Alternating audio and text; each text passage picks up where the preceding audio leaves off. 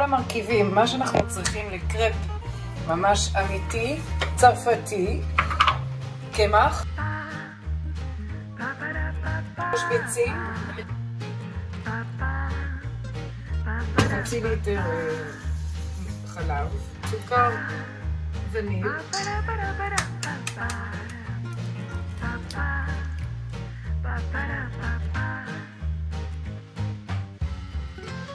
אפשר להוסיף אה, סוכר וניל בשלב זה, אה, שקית קטנה של אה, סוכר וניל, אפילו לא, לא, לא כל השקית.